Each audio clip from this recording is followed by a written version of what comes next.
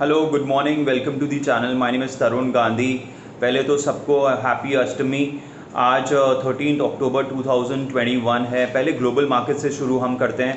US markets लगातार तीसरे दिन थोड़ी वीकनेस के साथ क्लोज uh, हुआ है जहाँ पे हमने अक्रॉस देखा Dow Jones S N P five hundred and Nasdaq close in negative territory because of the inflation pressure जो कि इम्पैक्ट कर सकता है अर्निंग uh, सीजन्स पे भी.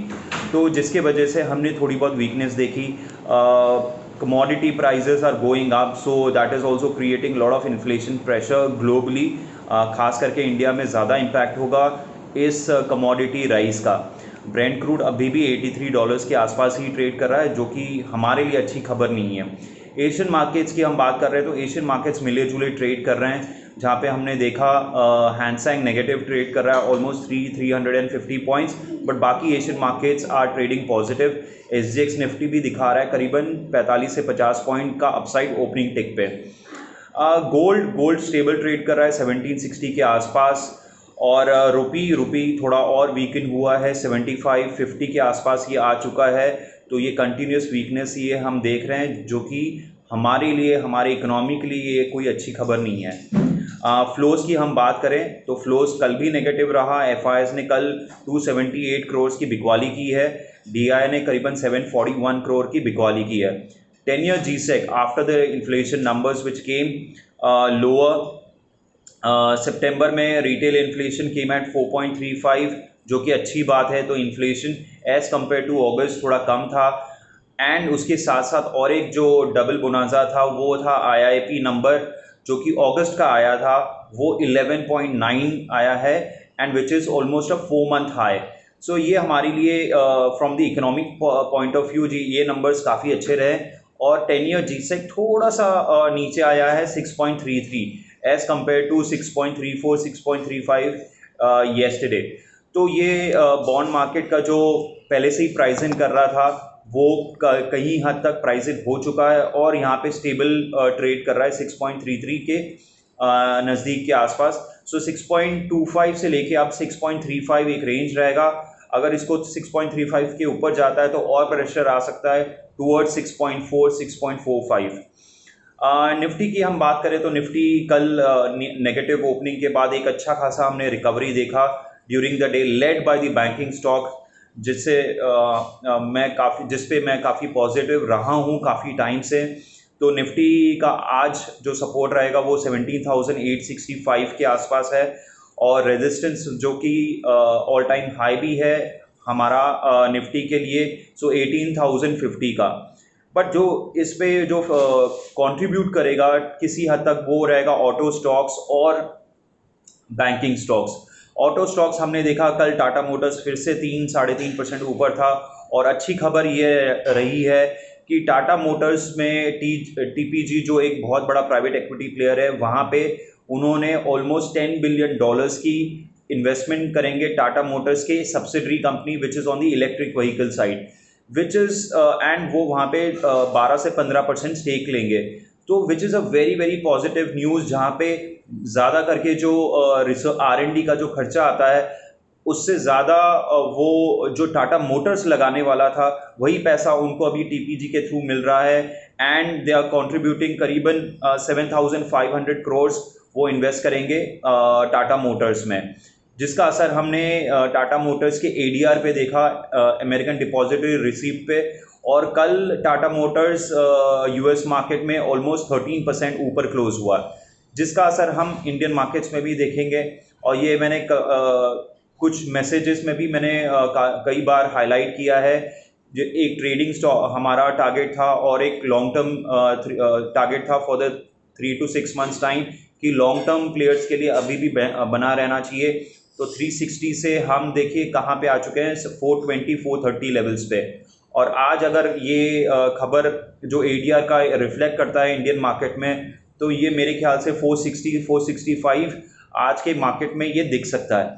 देखते हैं ये कितना सस्टेनेबल सस्टेनेबल है बट हमने ऑलमोस्ट 30 35 परसेंट रैली देखी, एक बड़े स्टॉक में विच इज़ टाटा मोटर्स और एक अच्छी खबर फ्रॉम दी एयरलाइंस परस्पेक्टिव है कि गवर्नमेंट ने जो रिस्ट्रिक्शंस थी कैपेसिटी फिल करने की, वो हटा दी है and it'll be effective from eighteenth of October so airlines will be running at the full capacity they can fill all seats so which is a very very positive news for the Indian airlines अब आते हैं हम stocks पे। Stocks की हम बात करें तो आईटीसी ये फिर से अपने 240 41 लेवल्स पे आ चुका है, जहाँ पे हमने मेंशन करना शुरू किया था और एवरी ड्रॉप पे हमने मेंशन किया था you should be a buyer अगर जब भी भी अगर 235 230 के लेवल्स पे भी आता है you should be a buyer अब वही आपका एवरेज मेरे ख्याल से अगर आपने वो स्ट्रैटेजी यूज़ की होगी तो मेरे ख्याल से ये आपका एवरेज करीबन 235 से लेके 238 के बीच में आया होगा। और कल का क्लोजिंग 241 242 के आसपास है। इसके साथ साथ P S U banks P S U banks में भी हम जो काफ़ी टाइम से पॉजिटिव रहे हैं उसका असर हम आ, देखते हुए अभी देख रहे हैं। एस बी आई फिर से एक नया हाई बनाते हुए कल अच्छे लेवल्स पे क्लोज हुआ है। करीबन 483 का कल का क्लोजिंग है। और मेरे ख्याल से ये आज टूवर्ड्स 500 मार्च करेगा। और एक अच्छी खासी रैली दिखाने के लिए ये रेडी है।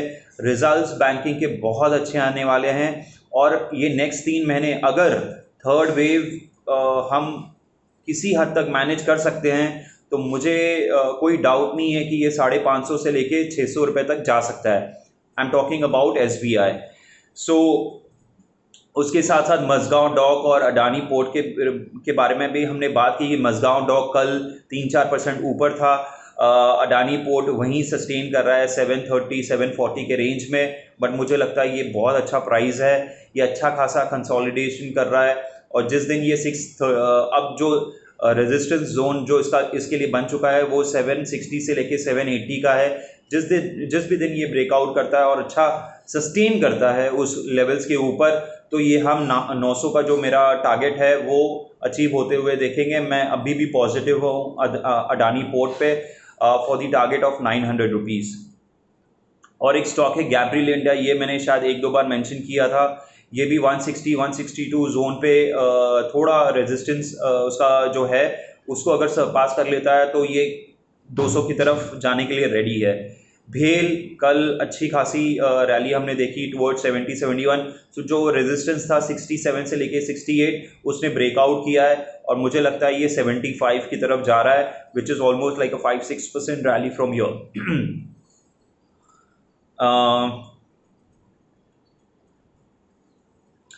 retail retail हम अभी भी पॉजिटिव हैं तो फिलाटेक्स इंडिया ये मैंने कल मेंशन किया था। कल इसका हाई था करीबन 126 127 अभी भी हम पॉजिटिव हैं तो इस पर आपको बने रहना चाहिए।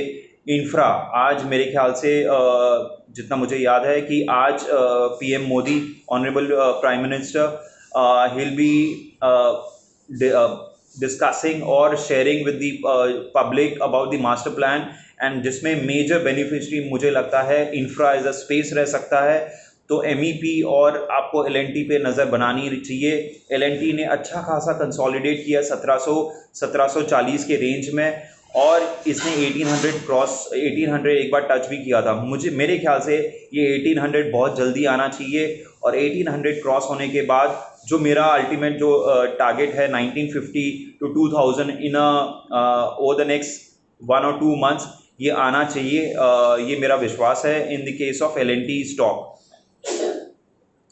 sugar stocks ये भी मैंने मेंशन किया था शुगर स्टॉक्स जो मुझे दो तीन जो पसंद है वो धामपुर शुगर्स है बलरामपुर चीनी है ये दो तीन स्टॉक्स आप अपने पोर्टफोलियो में रख सकते हो। आ, मैंने कई आपको याद होगा तो अगर डेल्टा कॉप ये मैंने कुछ टाइम पहले मेंशन किया था फॉर द टारगेट ऑफ़ 300 वो इवेंचुअली कल 307 इंट्रा डे पे अचीव हो गया था। Even though we have book profits at around 280 to 85 जो बट मेरा जो टारगेट था 300 का, वो कल मीट होते हुए देखा हमने। और एक स्टॉक है sorry P N B S B I के अलावा जो कैनरा बैंक है, उसने अच्छी खासी रैली दिखाई। ऑलमोस्ट सिक्स परसेंट हायर पे क्लोज हुआ है।